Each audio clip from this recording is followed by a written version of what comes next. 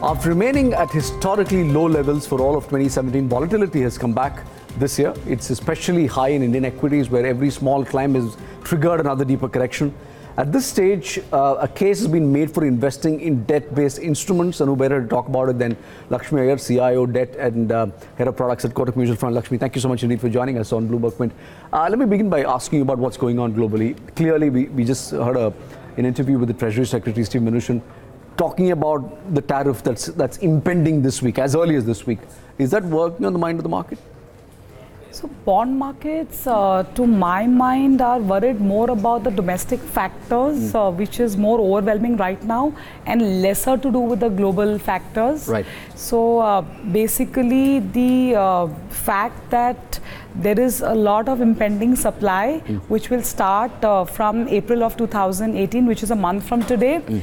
And uh, there is no commensurate or at least perceived commensurate demand to really absorb that supply. I think that is plaguing the minds of the bond market trader right now. Mm. And uh, to some extent, um, uh, the global factors are just kind of acting as a fringe, uh, you know, I would say events or impactfulness, mm. uh, but it's more of the core domestic uh, issues that we are dealing with right now. Okay. What is your assessment of liquidity at this point in time? I understand that the RBI has also announced some uh, interim liquidity injections right. through the repo auctions. Right. Has that made a difference?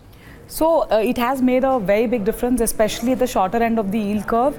Market was clearly showing signs of being choked of liquidity. Mm. So we uh, actually morphed from a liquidity surplus stage to we were tending to a liquidity deficit zone and with this uh, you know uh, introduction of a slightly long term repo window to the tune of about a lakh crore mm. um, has uh, ensured that liquidity remains uh, i won't say surplus but comfortable in the system two developments that we heard from Delhi. One is that the government expects a $1.5 billion interim dividend from the Reserve Bank of India. And we also heard that they're pushing for a Fitch upgrade. Right. Uh, are these things uh, material? They can act as small catalysts, mm. but as I said, uh, the hygiene checks are absent right now. Mm. So the mood of the market is not upbeat at the current juncture. Uh, till some time back, I would say that they were actually mirroring, uh, uh it was a mirror image of equity market uh, in terms of sentiments, mm. but now equity also sentiments are a little bit dampened. But any which ways, uh, that and as I mentioned to you, the future course of inflation and supply. So I think the small catalysts can act as, I would say, small fillers to give you some moments of joy joy, but nothing on a slightly more durable basis mm. uh, because markets are also of the view that, you know, these things can probably give a short-term fillip but nothing to really give you a sustained recovery in the bond deals at the current juncture. Okay, when we spoke to people in the market last week, there was clearly the overwhelming theme was lack of demand by, with the lack of participation by the state-run banks. Correct. Uh, is that still continuing? Absolutely. So even yesterday, in a nice uh, rally day, I would say, after a long time, uh, we actually saw public sector banks being uh, net sellers. Mm. And um, so, you know, if oxygen is to life, I would say PSU banks are to the bond markets. Uh, they clearly don't seem to be there at this point in time. Okay. And that is obviously a worrying, worrying. As I said, two demand levers. Mm. One is FPI limits are full, mm. so they're on auction mode, and uh, public sector banks. So they are kind of two sides of the same demand curve. Okay. Uh, one section of the market also believes that the yield, 10-year yield is going to go as high as 8%, particularly mid-April uh, when the borrowing kicks in. Uh, would you agree with that view?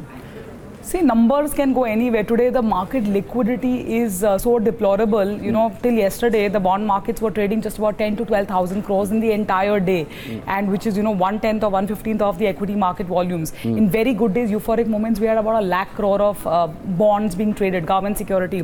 So today, if uh, just two of us are assuming the entire market, if you decide where the yields have to be and you just short it, for example, you want the yields higher, there they are. Mm. And if I decide I'm going to start buying a few uh, hundred crores, I can actually put the price higher. So what's happening is that the lack of depth in the market, any of these numbers are not impossible. I would say it will take a while because there has to be value buying that has to creep in, right? Ultimately. Correct. So um, yields at these levels are looking a roaring, screeching, screaming buy. Mm. Uh, but um, market participants like us, for example, mutual funds are staying off because we don't know if I buy today, for example, and as you rightly observed, April, who will I sell to? Correct. We don't know. Mm. So because those answers answers are not very certain, I think it's better to stay off the market. Try to ride those small moments or small pleasures. So these are like one of those cheat day moments, you know, in a diet regime. So you're getting to do cheat days, so you can indulge in sweets for a short while. Sure.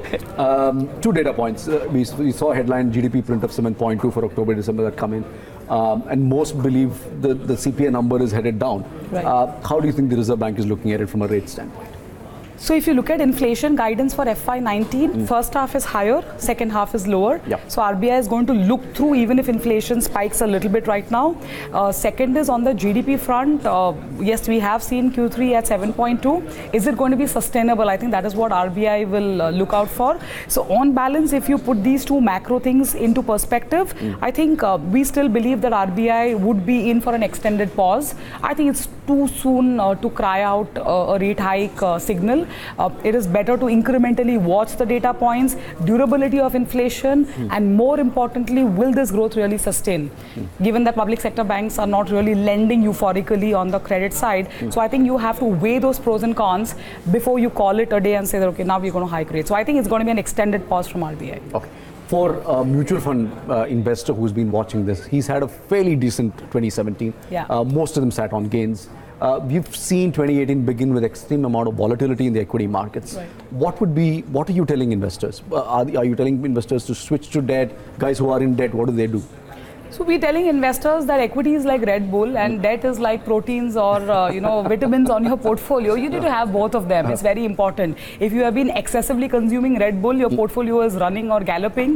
Uh, it has obviously slowed down a little bit. Sure. Uh, you can't uh, juxtapose one on top of the other. You can't supplement. You know you can't say that okay this is going to be substituted. There is a complementing strategy.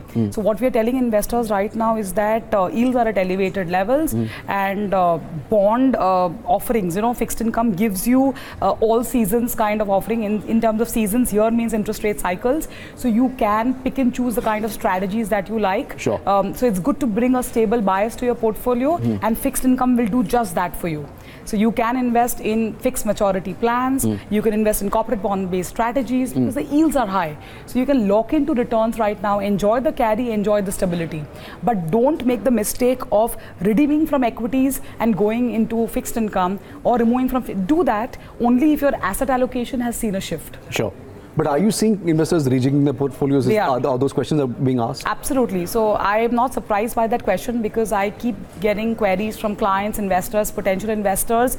Yeah, uh, equity बेच के fixed income में चले. But I, I, as I said, that is a very wrong thought process. Um, I suggest to them only if uh, they were 70-30 allocated and because of greed, obviously. When you mean 70 30, 70, equity, 30 and 30 fixed income, for example. Right. And for some reason, 70 has become 73 because of market movements, and you let the greed factor pull on. You did not remove that three bucks. So now is the time to do that because you have to stick to this dharma of asset allocation. And if you're not going to, you know, if you kind of deviate, so we all know now what happened when Sita breached the Lakshman Rekha. there was Ramayan. So I don't want a Ramayan kind of a situation in your portfolio. So I think it's very important that you stick to and adhere to that and keep reviewing your portfolio on a periodic basis. Okay. I think that's very relevant. Interesting. That uh, I have one final question. We're talking today on Women's Day.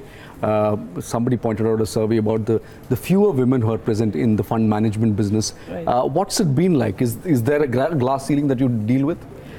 I think it's flesh ceiling, you know, because the ceiling is in your mind. Mm. Because if you keep telling yourself that you are going to achieve it, it's not impossible. And trust me, I have done it. Mm. It's not a rocket science. Mm. So fundamentally, if you are convinced, see, firstly, you need to have that innate desire hmm. and that passion that, okay, you know, this is what I want to do. Once you have that, you are equipped with these two astras, then there is nothing that is going to stop you from achieving your goal. It's more of intimidation and more of hearsay. Here, yahan pe na earthquake hai. So if hmm. there is an earthquake here, I'm not going to go, but there's nothing there. Hmm. That place is completely dry. It's absolutely barren. So if you are going to perceive, so I think um, for all the women out there, my uh, suggestion i'm not going to advise or opine but my suggestion is that uh, there is no glass ceiling anywhere it's just a flesh ceiling it's all in your brains so if you are going to conceptualize that this is what i want to be and this is what i'm going to do i don't think that anybody in this world including you can stop you from achieving it More power to you. Many Yeah. thanks, Anita, thank you so much Thank you so much, Lakshmi.